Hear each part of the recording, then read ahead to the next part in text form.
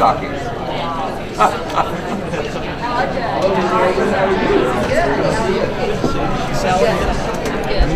She's, she's on the three thirty thing. No.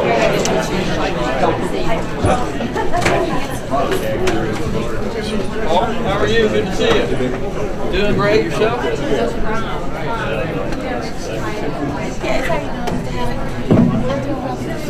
Adam. How you doing? Good to see you. What's going on? Yeah? Whoa, let's see. Peter, how you doing? Good to see you.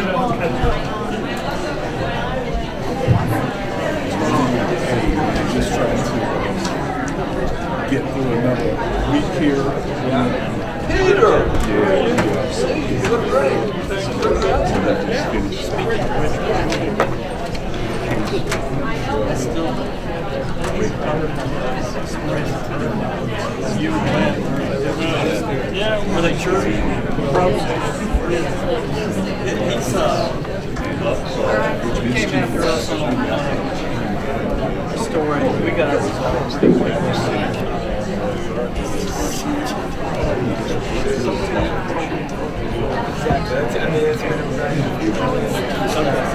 You're gonna have actual internet access? That's not fair. You don't have I. I, I was connected the last time I was here, but the actual Yeah, I think it just changes each month. Because this is going to be a great panel. I think we should come on in and sit down.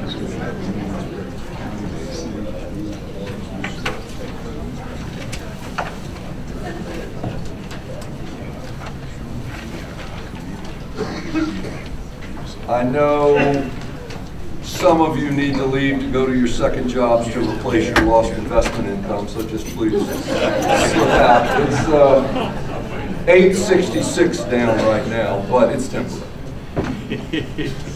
I hope. I'm Richard Belcher. I work at Channel 2 and have been there for 30 years. I've been a reporter in the market since 1971. Paul Howard and I were talking earlier in that way that old people talk sometimes. Well, you know, Speak for back in the 70s. Richard. I remember we do remember in the world of crime days when the city had 250 homicides. And I think if we had 250 homicides today, people, first of all, it would be on the front page of the paper every day and people would be astonished. But there really was a time when crime was, is it fair to say, out of control? Yes. And we all thought, well, that's just the, what we're going to have to live with.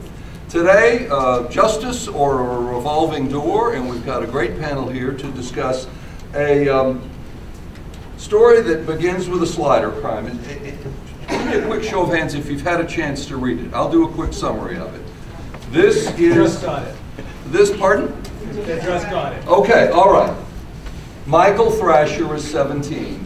He's been in and out of the juvenile system for a while. There are, sad to say, thousands like this. He started skipping school at 13. He comes from a broken home. Mom has two jobs. This is a pattern that I know uh, Judge McBurney's probably seen in his court. We all have. Put him on television. This, this kid had um, gotten out of the juvenile justice system. One night in February, he decides he and his friends are going to go out and have a joyride. They go to a local service station. They pull a slider crime. Five years ago, did we know sliders? Did, was that, when did that start, Paul? Uh, I think they started about two years ago. Okay, I, I feel like we have them on television every third day now, but it's gotten to be a very significant, uh, at least in terms of numbers, uh, crime. Michael slides into the driver's seat and pulls away. The young woman is knocked to the ground as the pump line pulls out of the car with a snap. She is unhurt other than just being knocked down, but she is scared witless, and she is probably not going to be happy going out in public in a lot of parts of town after dark for years to come. Michael and his friends are caught. Michael is back in the system. Tiffany, your response to this, how serious is this and how should Michael be treated? He's been in and out of the, the system, the juvenile system, several times already. Uh, well, I was a public defender in Fulton County at the very beginning of my career, Uh, and I encountered many young people who uh, began. Lean into the mic. Okay, I encountered many young people who had interaction with police early, early on in their lives. And so the question that I ask when thinking about what should happen to a child, even though he's 17, if a 17-year-old lives with me, he's a child, um, how they should be treated is I start to think about what is the earliest failure of, what, how did we first fail this child? And so I have learned that resources and resources that help children and adults to figure out how they can make different decisions are important. Also, resources into households that aren't able to provide for those children are important. And so, I mean, I had I had a client whose mother had four children, and she made twenty thousand dollars a year working a maid as a maid at a hotel. And so there were no options for him other than a pretrial diversion program that he couldn't afford, uh, or getting a criminal record through having a conviction. And so for every person in our criminal legal system, the justice system should ask what the appropriate solution is. And for someone like this, if the reason that he made the decision is because he's being impulsive, because his brain will not be fully formed until he's 25, then you can address that behavior through education, um, through providing boundaries at home. If he's made this decision because he's uh, addicted or is using substances in a harmful way, then you can help address that through providing rehabilitation, right? But it depends on what other um, what other systemic issues have impacted this child at this point in their lives. But I can tell you that sending him to juvenile detention, statistically, juvenile detention um, ensures that the child will return. So juvenile detention isn't the answer. Adult detention is not necessarily the answer. Um, I always say if you lead with resources and compassion, early on in a person's life, you're more likely to have a difference than if you just throw them in a cage. Judge McBurney, whose great victory lately is he's no longer chief judge, and so he's gotten part of his life. Feeling younger every day. Congratulations. Um, This, this young man is not going to adult court, but at some point, point we can guess that he will. At what point, how much do you have to consider uh, the young woman whose life was changed? She wasn't maimed, but she is scared and will be for a long time. Well, a, a couple things. To be clear, if you're 17 and you're arrested for a crime, you're going to adult court. In Georgia, under the law, Right. 17, you're an adult. You're going to appear in front of a superior court judge if it's a felony crime. Before the legislature this session is, are a number of bills that would change that to 18. But either way, um, Mr. Thrasher is going to appear in front of a, a magistrate and ultimately a superior court judge. What judges are supposed to do is to consider the entire picture before them. Uh, there is an accused who may become the guilty one if he pleads or there's a trial and he's, he's found guilty. But there's also, in a case like this, a victim. Um, and so it's appropriate for the court to consider the entire picture. Um, typically, what the court hears much more about is the defendant, the human being standing before the judge who has a lawyer and likely family members or some support in the gallery. Very, very infrequently does the court, does a judge see the victim in a case like this. Why would, she doesn't have her name, young woman, why would YM come back to court? Um, she's got other things going on. She might feel victimized again. And so what the court ends up hearing about is the prosecutor's perspective on how this was a bad crime. But of course, if it's a crime, it's by definition bad. And so there is a very opaque picture painted of the impact of this crime on the individual, her life, her job, her family. Whereas there's a very composite picture painted of the defendant, because that's what the defense attorney ought to do. He's 17. He dropped out of school when he was 14. Dad's not in his life. Mom is earning $28,000 trying to provide for four kids. So there's a very holistic picture of one person involved, but not much about the other. And it makes it difficult for the court to assess the impact of the crime on the victim, on the community, um, which is why media coverage helps, why concerned citizens or court watch can help. The district attorney does what he can with the information he's given, but he can't compel the victim to show up in court. And so oftentimes the balance is leaning in favor of the defendant. I'm not criticizing that, I'm just letting you know what it's like in court. is that the advocate, if you will, for the victim is ultimately the prosecutor, and that's not the prosecutor's job. The prosecutor is seeking justice. But he or she will give voice to the victim if there's something that the victim has relayed to the prosecutor's office. Paul, how quickly do your people get um, frustrated or perhaps it's just callous to the idea that they go into court with this young man or someone like him and say, well, I'm going to see him again in a couple of years? Well, let me, uh, first of all, Richard, let me just say this. Um, I don't know why, when you reach a certain age, people start grouping you with them, but like most of you guys, I was, grew up listening to Richard Belcher. So it's a pleasure for me to meet him. to, to meet him. Um, uh, look, I- I'd like to talk to you about this from the perspective of something that we have done in Fulton County uh, along with the judge. And it's a program called Level Up. And what we have been asking the county to do is to take a more data-based approach to what is going on in our community. Uh, because what we see often is the citizens complaining about repeat offenders and uh, juvenile offenders. Uh, we are having them in court, and we, uh, the juveniles are generally sent to probation or small jail sentence, and in a short while, we'll see them back again. So as we've examined what has been going on in our county, what we began to figure out is that if you look at the juvenile records of the defendants, once these defendants commit three or more crimes, or if they're arrested three or more times, if you don't stop this progression after the third arrest, then about 88% of them are going to migrate into adult crimes. And generally, those crimes are going to be more serious than the initial crimes. So, my belief, Richard, is that what we should do is, is that we really ought to think about changing our entire approach to make sure that we focus the uh, correct amount of attention on the folks that have been arrested three times. So let me tell you what we're trying to do. Because generally, uh, if the, the defendant is placed on probation, which uh, that's what the defense attorney is going to ask for, in juvenile court, about 70% of them are going to reach, uh, they're going to receive probation. And so what we've been doing is we've been sending that defendant back to his or her home. The prosecutors and all the public defenders, we never travel to the defendant's home.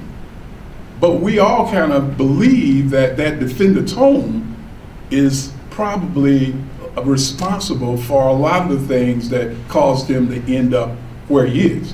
So it's kind of nonsensical to send a person back to the same source and ask them to correct themselves. So with the new approach uh, that we've started in um, the Level Up program, the public defender and the DA are going to be working together to make an examination of the family and the family structure. Because by changing it, by making it more secure, what we hope to do is to make sure that the defendant doesn't go to the next arrest. The two other things we're going to try to do is that we're going to try to provide mentors for each one of the defendants. As the judge had mentioned, many of the young people simply don't have any leadership in their lives. So we're going to try to provide mentors. And then the other thing that we're going to be doing is providing an aftercare program. That aftercare program involves picking them up from home, taking them to school, and then from school, there's a special program that they will attend, all in an effort to try to make sure there's not a third arrest. So we're, we're hoping that as time goes on, that we will move this approach from the juvenile court also to our superior court. So as the judge says, we won't simply sentence people in just kind of a, this is what we do, we already know what the results are going to be, but maybe we can actually start to rehabilitate and change some of the young people who come through our system. Councilman Matzigkeit, I, I, there's a, I'm not sure if it's in your district, but it's a north side, it's in, it's a north side site. There's, I think, a Shell station right at 75 and West Paces, and I think. That's mine. Pardon? That's mine. And the, I, we've done a number of stories about how many crimes there have been there. I don't think anyone's been shot, but it's in that category of it's just a matter of time. When your constituents call you about a hot spot like that, what do they say? Well, these crimes are, are really affecting all of us. Um, they're becoming much, much more personal. It's the things that we do every single day. It's going to that gas station. It's going to the ATM. It's going to the mall. Anything that we do in our daily lives, we, we, we are potentially uh, targets for this kind of slider crime or a car being stolen. And so people are scared, frankly. Uh, they're scared to go about their daily routine. Um, my wife won't go to the gas station, and I have to go put in gas. And you know, it's um, I'm getting kind of tired of it, but anyway, um, I do it because you know there is real fear, and that's what I hear from folks is that we are going about our daily life. We're not going into a bad part of town. We're not out late at night. We are just going about our daily routine, and we are targets. both, two of our panelists, both Paul and Tiffany, went fairly quickly to, look, you just put them back in the system, they're gonna be right back in uh, Judge McBurney's court, and we've gotta do more than we're doing now. Do your constituents care about that, or they just want them out of sight, off the street?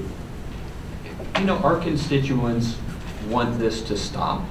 And really, I think there's an openness to how do we stop this? What is the best way to stop this? Some of these people are, are kids, and you look at how old they are. Well, I mean, 14, 15, 16 years old, and they're doing this. And so there's not a, uh, a set um, I guess, recommendation for how, what we have to do to stop this, and we're absolutely open to coming up with, with ways to stop this, but it has to stop. Tiffany, the legislature's meeting right now, I don't know if your group sends somebody down there regularly, if you're monitoring it. Do you sense anything going on at the legislature that, the councilman said, I'm open to this. I want these, I want to feel safe, but I'm open to some of the ideas you've discussed. Do you think the state of Georgia through the legislature is open to any of these ideas? Certainly under Governor Deal, the legislature uh, was more open to, to um, mechanisms to protect all people, to ensure that public safety doesn't just rest on incarceration. Um, Unfortunately, during this legislative session, we have quite a few bills that I think would undo a lot of the good work that was done under Governor Deal, namely um, the gang legislation um, that is now, um, has gone to at least one hearing, um, and also legislation pertaining to cash bail. Um, and, and the spirit of those laws is simply uh, that the more punitive we are, the more effective we can be. If we're more punitive, then we're safer. And data just doesn't support that. Data doesn't support that we should mark a 13 year old or an 11 year old as being a member of a gang because he lives next door to someone who is. Um, it, data doesn't support that when we take away the option for judges to give signature bonds to people who need to return to their jobs and to their schools, that people are safer. Um, so I, I think a lot of time, I, I see a lot of lip service paid to being open to restorative justice and transformative justice, um, to uh, criminal legal reform. But I think because so many appeal to the base fear that folks have about crime, and there's this sense that some people are deserving victims of crime and some people should be exempted from being victims of crime. I live in Southwest Atlanta. My child will be reared in Southwest Atlanta. Um, even before we lived there, we lived in Ansley Park. My husband has been carjacked, right? Uh, our house has been burglarized. Uh, things have, I've had, I've been the victim of entering auto multiple times, but I'm the daughter of a social worker. And so the first time someone stole something from me, my mother said, well, they needed it more than you did, we'll move on, right? when I came and my window was broken in my house, we called the police and then we just moved on with our lives. We documented the break-in and we moved on. And so using fear as the catalyst for ideating about how to fix our criminal legal system is counterproductive. And so I am hopeful that the really, really nasty provisions of this uh, gang legislation and this bail legislation um, will be taken out of these bills. Um, they can do real damage and separate families in a way that makes it that makes it almost certain that when the 17-year-old who's sent to prison gets out at 25 years old, he has no tools to re-enter community in a way that is helpful to himself and in a way that makes us safer. Judge, you see anything going on at the Capitol that uh, uh, makes you more optimistic or some things that concern you? She, she uh, mentioned the gang legislation. So regrettably, there's no bill that would pay judges more, so it's going to be a bad session. That, that part is clear. I clear. could do a series on it. Yeah. I know it'd be a great, really well responded to by our audience, I right? bet it, I bet it would. So, um, the Judicial Council tracks legislation that would change criminal statutes more on informational level. Um, we, Tell me a little more. Well, we, we received the wisdom of the legislature. The judges wouldn't ever lobby to say that punishment is too harsh for this, or we don't recommend that.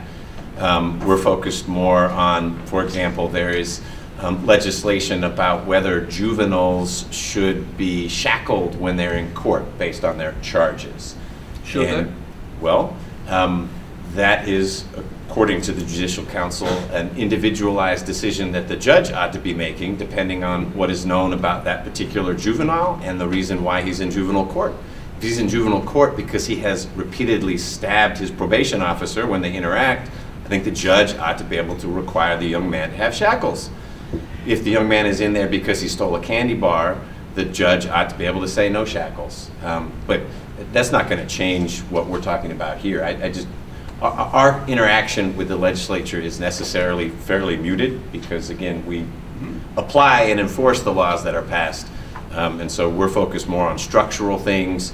Um, uh, For example, when there was the business court created, the judges were pretty focused on that, but it's not policy and crime, if that makes sense.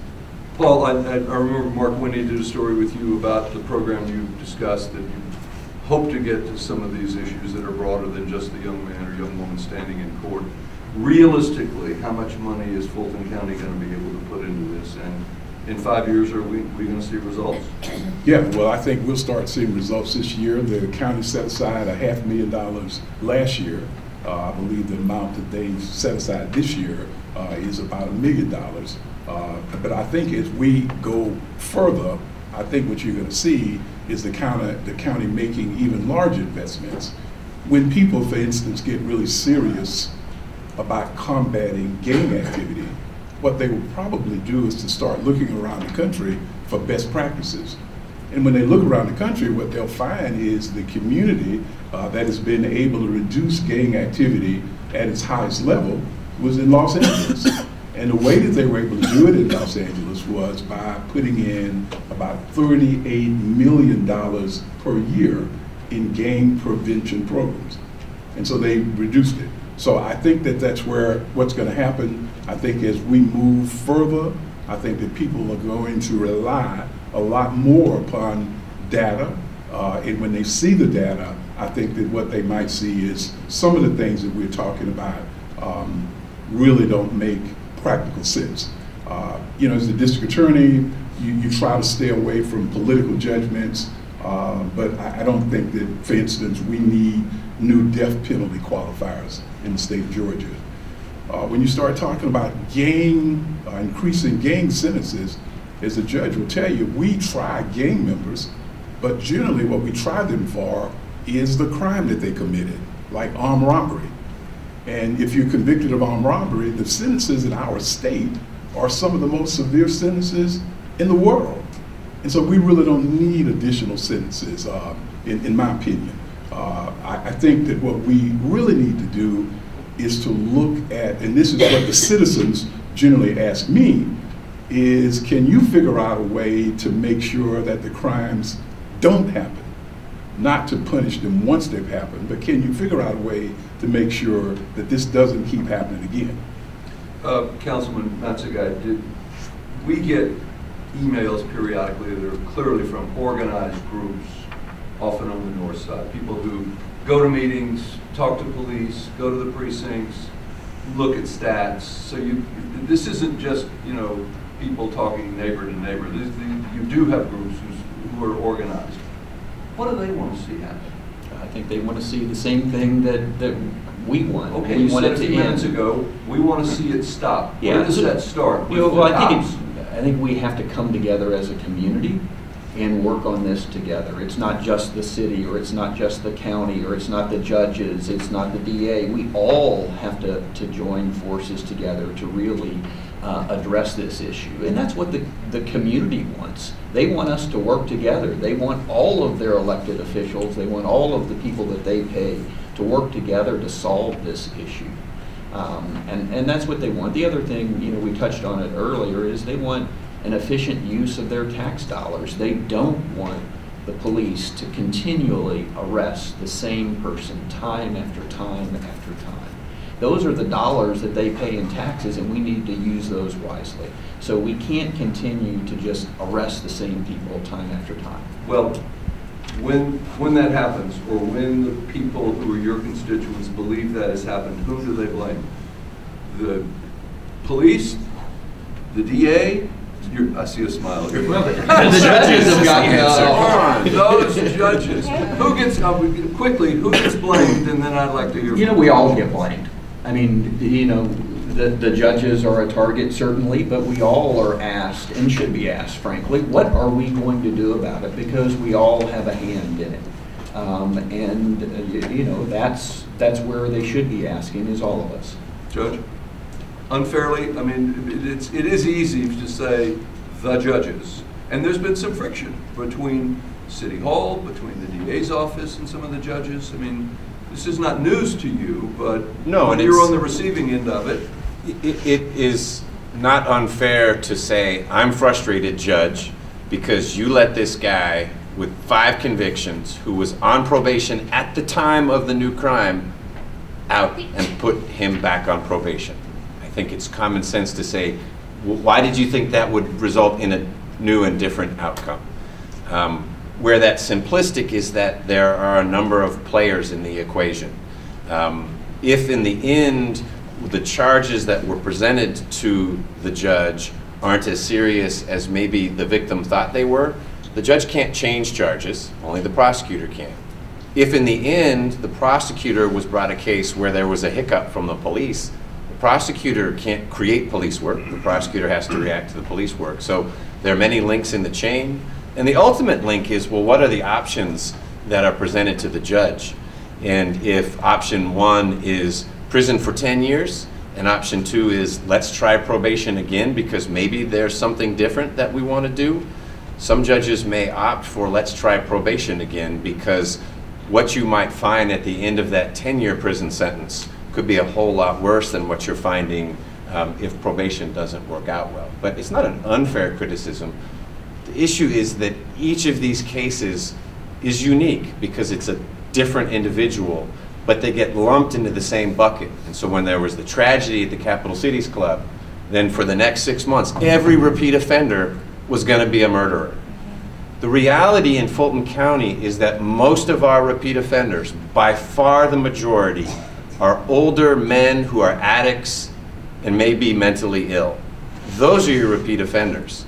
We have in our county jail right now over a third of the population that is prescribed psychotropic medication. So over a third of the jail population, these are people who have not yet been adjudicated this time. They are on medication to stabilize them. We need to work through that situation. But because of a tragedy that gets amplified by our friends in the media, um, then this repeat offender concept becomes a, a, a boogeyman, and we start looking at limiting the options that we want to make available to repeat offenders. Accountability courts, level up, options that aren't necessarily incarceration. So I guess the one legislative concern I'd have would be bills that are passed that limit the options for the judge and the prosecutor and the defense attorney to create a solution short of 10 years in prison. That's not progress. Tiffany, uh, if this is too much on the spot for you, just say, that's unfair, I can't answer it. But where does the money come from for the programs, the kind of ideas that you have? Paul has got some funding for his office that he hopes will grow from Fulton County. Who pays for these kinds of services you think are needed? Often, uh, so often the government has a burden through um, Department of Human Services and so on. But what you will find is that there are resources in community available to people in the criminal legal system that are untapped. And then another Give give me a couple of uh, an example is pre-arrest diversion. Uh, pre-arrest diversion was sort of like the brainchild of really organizers who coupled with government uh, to come up with a program that said when people are um, encountered by the police and there is probable cause for an arrest, if the police officer determines that poverty or addiction is the reason that the person has been encountered, is the reason that there is probable cause to believe that a crime has occurred, the police officer um, within certain zones in the city have the option of contacting pre-arrest diversion. Pre-arrest diversion sends out what they call, call a care navigator. The care navigator does uh, an on-site assessment of the person. Uh, the police are no longer there. They hand off the person to the, the care navigator. And once an assessment is done, there is a housing first model, which says if the person is unhoused, they are immediately housed. And then, depending on what services they need, those are provided. Um, the pre-arrest diversion program began as a pilot. I was on the design team, on a, I'm on the advisory board. People from Mr. Howard's office, people from Solicitor Gammage's office, and so on, the city court, the city solicitor, were on the board to design this program. And uh, Hang on one second. okay. It- it- Who pays for this? The state? So it is a partnership between Fulton County, the city of Atlanta, and grant money. Good, good. Quick, quickly, Paul, how much money is available to do that? Do you know what she's, I don't know. How much money? Uh, do anybody here know? I mean, I- Uh, if that's unfair, I, I I don't know. can find, it's easily discernible, I can find out, I don't know the That dollar would take a amount. big pot of money, given all of the 17-year-olds who were coming through. So every 17-year-old couldn't take advantage of pre-arrest diversion, but pre-arrest diversion is an example of an underutilized resource. Um, they get about one-sixth of their, their capacity every week. So the, they, police So officers. there's money, services sitting there and not being used, and you blame, if that's too strong a word, I, but I you- the believe that. police? I believe Atlanta police should be more open to utilizing pre-arrest diversion, but perhaps are afraid to do so because of public outcry about people being arrested You and mean being the media? out. No, not the media. I think there are many citizens. Richard groups- is fishing for a story. Well, but it- you know, it- look, if someone was put on this and then did something far more serious, you know we'd do the story. You absolutely, and And you know, Matzigkeit, Mr. Matzigkeit here would hear about it from his constituents if it happened, At right? Southern Center, And Paul yeah. probably would too. We, we, we handle death penalty cases, so we're accustomed to the really, really, really bad media coverage of our cases, and we, our mission is to decriminalize race and poverty. So we know if something bad happens, you'll cover it. But it is a crime to have these resources sitting out there and them being underutilized because we are afraid, because ultimately this person is going to end up in the system regardless.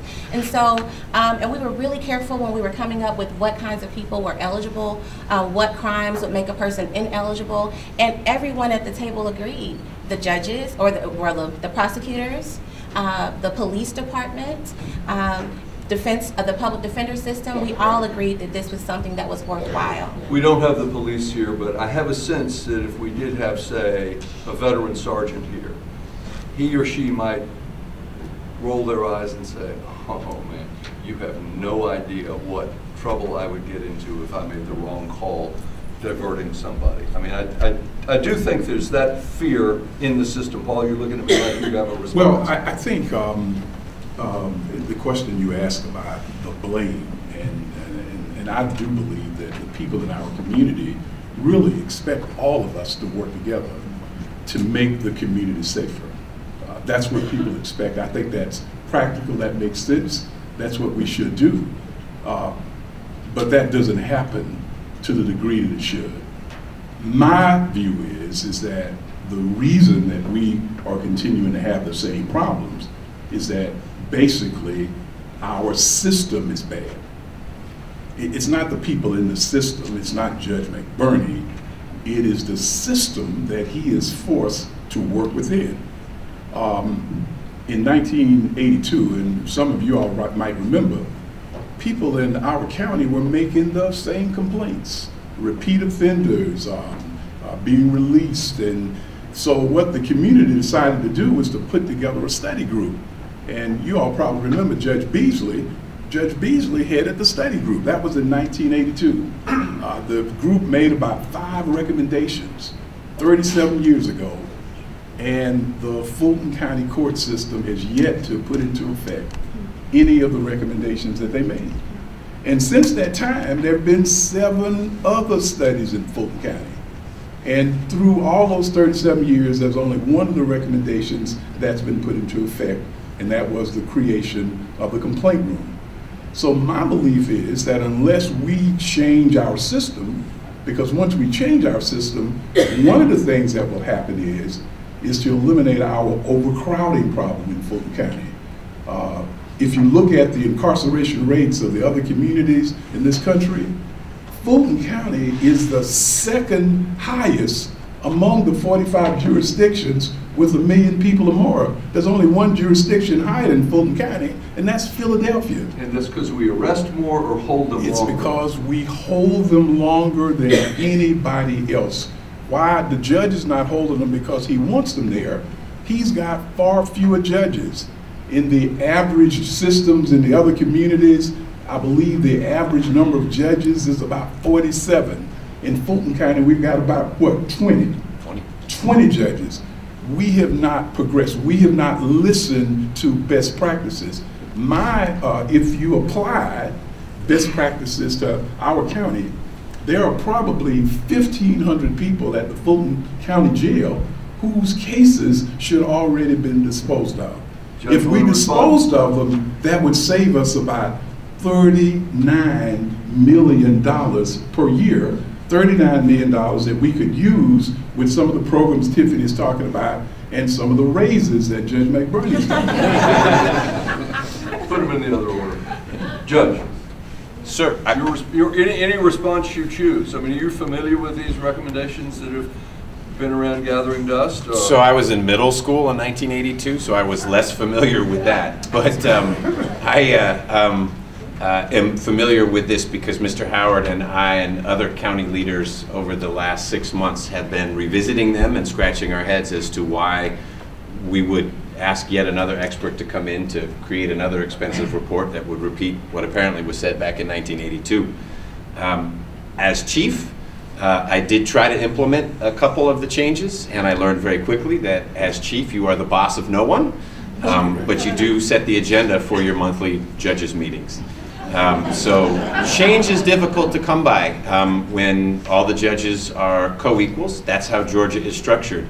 In all the other jurisdictions to which Mr. Howard alluded, there is a chief judge with executive authority who says, Judge Roberts, you're going to handle these kinds of cases this week, and it hurts me to say this, Judge Howard, you're going to handle these cases. But there's someone who makes those decisions. That's not how it works in Georgia. And there are wonderful things about Georgia, but a change of that magnitude comes constitutionally and legislatively and, and not organically, unfortunately. Um, we do have 20 judges. That makes us the largest circuit in the state. Um, the counter data point I do want to raise so people don't leave here thinking how incarceration oriented Fulton is. While Fulton County incarcerates more folks per capita than similar metropolises in the US, we have one of the lower incarceration rates within Georgia. So Georgia is a unique beast. Um, It's not Texas, but it's no, Georgia. it's a close second. Uh, Richard, could, could I just say this, and I, uh, Make- I want to get to JP, so Okay. hang on, let me- we can come back. Your legislature, this is not a perfect match, but a lot of this does come down to money. Um, How do you sell, how does one, whether it's Fulton County Commission, whether it's some of the state legislators you know who represent Fulton County, how do you sell more money, perhaps higher taxes, for some of the services that Tiffany and Paul have discussed? I think public safety is probably the highest priority for um, most everyone. Well, but hang on a second. We, we, we talk about more people in uniform and in patrol cars, or are you talking about what I would call broadly social services or wraparound services or family services that are not cops? I'm talking about public safety overall. And so we need to really look at public safety overall, and we need to prioritize our resources, frankly, Was that, is for that, is that safety. saying in, in, that this would, some of these would be a tough sell? No, not at all. I don't think so. I think people are open to different uh, ways of getting at this problem. And so I think let's, let's try things, but we need to prioritize our resources, and there's nothing more important than public safety. I- I can agree with you, but then have, come back to the same thing, which is, these are new services that she's describing, am I correct? I mean, you say that some are out there that aren't being perfectly utilized. Some of what you and Paul are talking about is new money. And what I'm trying to get at with JP is, uh, vote, are voters generally ready to support those kinds of services? They might come through the school district. They might, you know, you, you hear that wraparound services, you know, with, with APS sometimes. They're new, they're expensive, they don't exist right now, who pays for them and do they do so willingly? Yeah, I think that, that we really need to look at how efficient our, our services are. I don't think we're very efficient. Paul just alluded to if we could get more people through the system quicker, we could save a whole lot of money. And I think there's a lot of that. Uh, I don't think people are look, looking to pour more water into a leaky bucket. Um, and so that's what we have to do first, is look at that. But there are uh, other ways of getting revenue other than increasing property taxes. So I don't think there would be uh, any reception to increasing property taxes, but let's get more efficient, and then let's look at other revenue sources, and I think people are open to that. Paul, you wanted to be heard a second ago. Well, first, I wanted to point out, I, I'm not talking about spending more money. I'm talking about reallocating the money that we're already spending. Yes.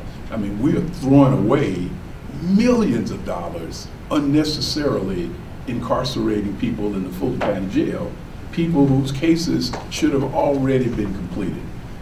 The person who has been in the Fulton County Jail the longest has now been there for more than 2,600 days. There is no reason on earth that somebody should stay in the Fulton County Jail that long. And, and I kind of look strangely at our community to ask, how do we comfortably let that happen? And, but it goes on daily. So I think that what we ought to be talking about is not asking JP to, to, to, to allocate more money, but what we ought to be talking about is reallocating some of the money we're spending now. I just wanted to mention that what Judge McBurney is talking about is him being the chief judge and being the boss of no one is really, really critical. Uh, because I know personally, he tried to institute something that would have been revolutionary in Fulton County. That is a case processing standard, which means that once you case is indicted, there's a certain time shelf life for that crime, or else the person is released. In the 45 jurisdictions that I've talked about, I believe 38 of them use case processing standards. We don't use them in Fulton County. Well, if the judge is in favor of them, in order for him to get that put into place, he has to get the approval of 20 other judges. It hadn't happened for 37 years. And unless we make a change, then that improvement that everybody else is using, we're not applying it in Fulton County. What if we had eight to 10 more Superior Court judges? Would that, no? We need a chief judge. I mean, that's what Judge. uh, Well, but, but it also sound, I mean, uh, there was a We reference earlier to we have 20, this is lower than many places.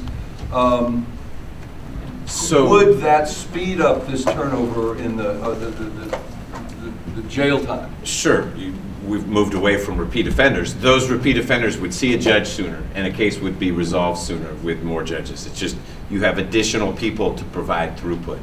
But to Mr. Howard's point, um, query, do we want to, because each new judge requires a staff attorney and a case manager and a DA and a public defender, so the ripple cost of adding a new judge is. $600,000 a judge? What is- Whatever the number we know? is. Does anybody know the cost? It's not a small number, No. and so we want to be confident that there are overall gains, and we're not just building in more capacity, but not changing our process. I think we've got about nine minutes for questions. Uh, Show your hand, keep it short, no speeches, please, but let's take some questions. Over here. Uh, the media plays a part in this too. I hear stories about, in the media all the time, when a judge has, has let, has shown some leniency or tried to get somebody into a program and there's a repeat offender and, and there's outrage expressed, but I don't see the story where the judge has given uh, latitude to somebody and there's a good outcome. Never see those stories. Well, if I did a lot of good stories, you know, nobody would remember my name. That's only partly a joke. No, the the default position, in my view, is that we, we ought to assume that the system's going to work. We do the stories, we expend our energy when the system doesn't work. But it's a fair criticism, and it's made regularly, and I, I accept some blame for that. Anybody want a quick response to that?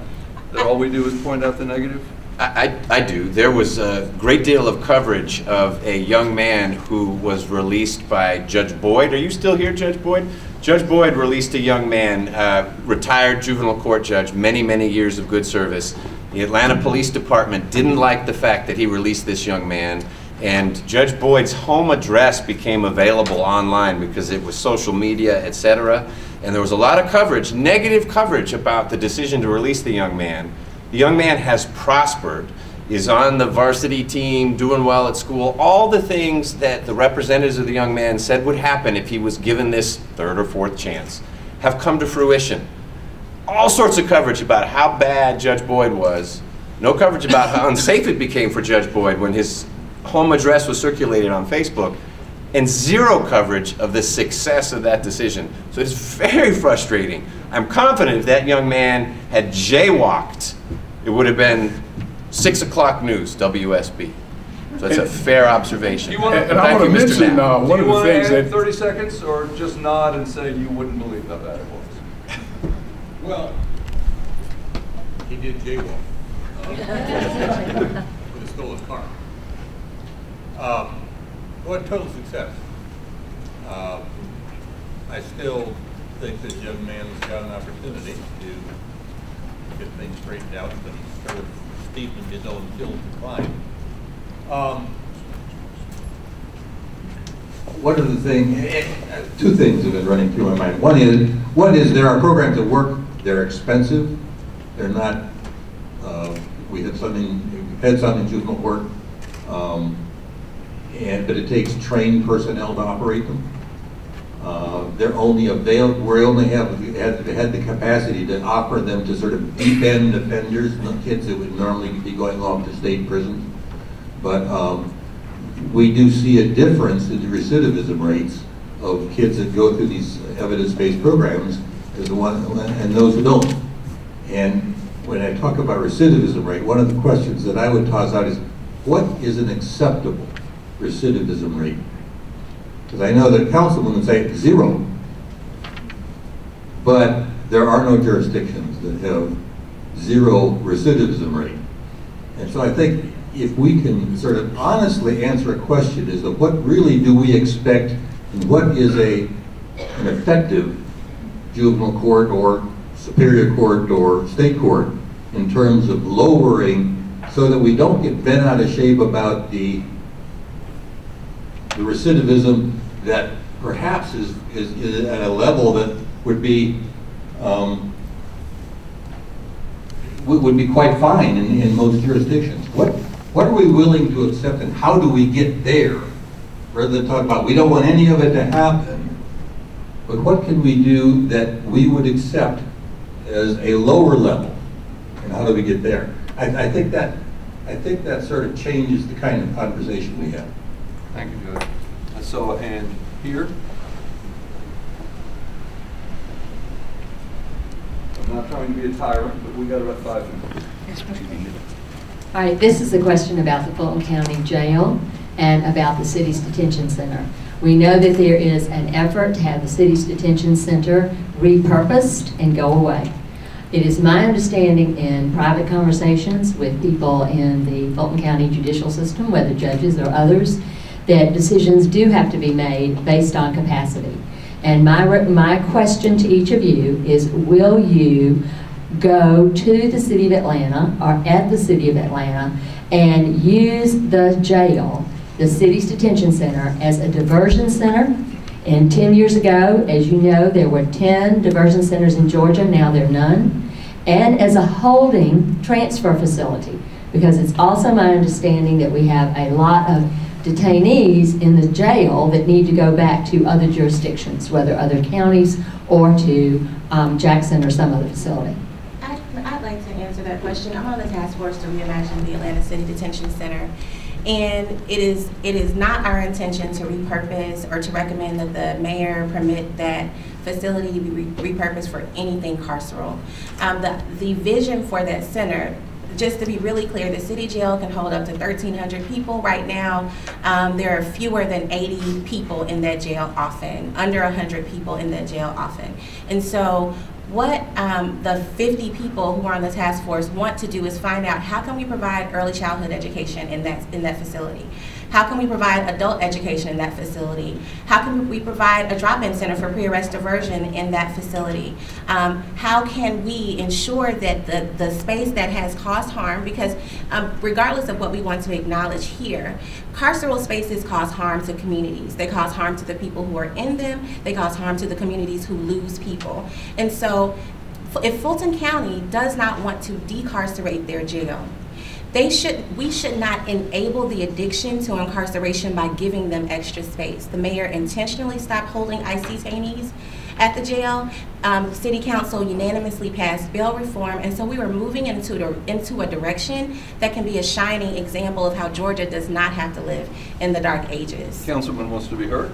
Yeah, I think we'll have some discussion around that. Um, You know, this Spirited is, discussion. we will have spirited discussion around that. I think that, you know, again, we need to look at this holistically. I think we need to have some balance. I think that there are things that we need to do to get to the root of the problem, drug addiction. The judge talked about that and how many people um, who, who come through the system are addicted to drugs, and we need to address that. We need to address homelessness, but we need beds of, of jail as well. And so I think that we want to take a look at this holistically and have a balanced view. So we'll have that discussion, I'm sure.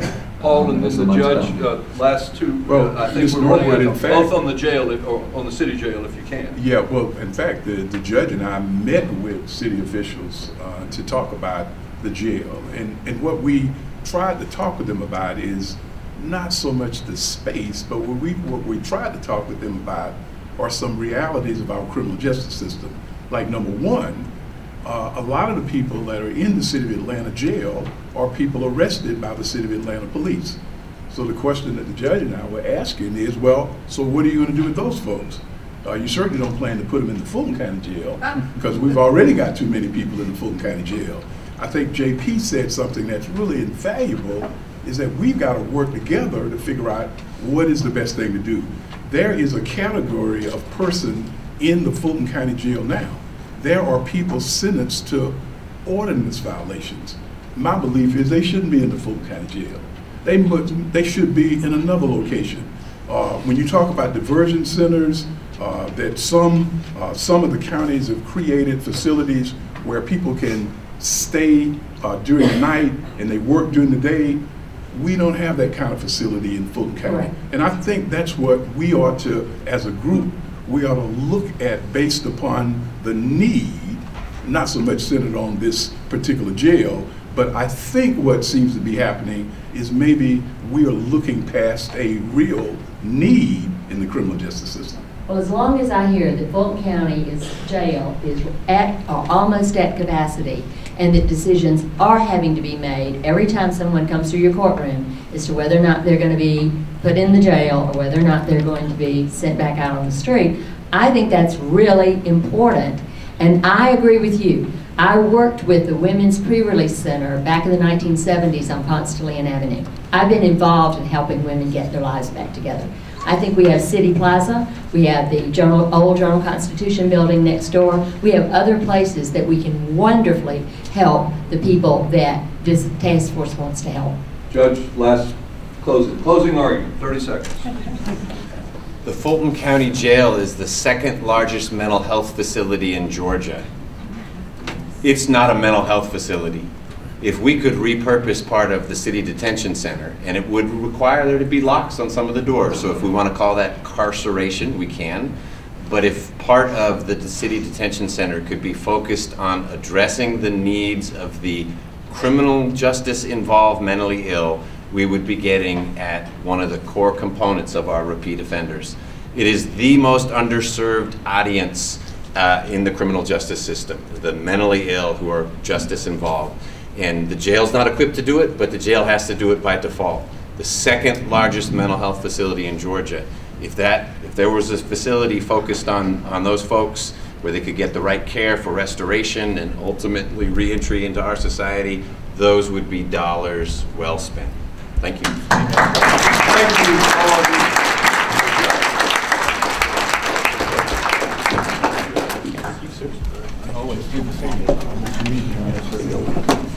Let me, she's with her.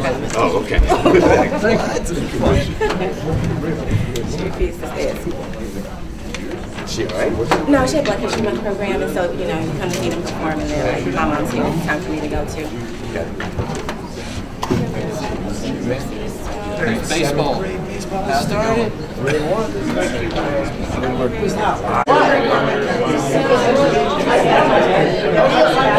That's where details